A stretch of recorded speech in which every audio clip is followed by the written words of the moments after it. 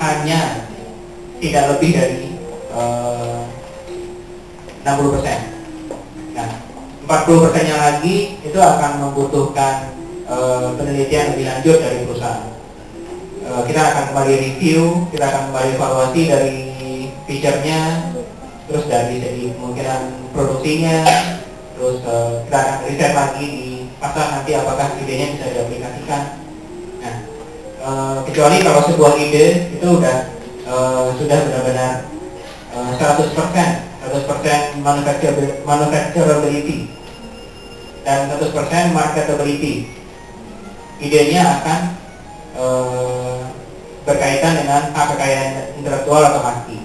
Nah, di situ idenya akan diberikan royalti eh, dan bonus kalau penjualan seperti itu.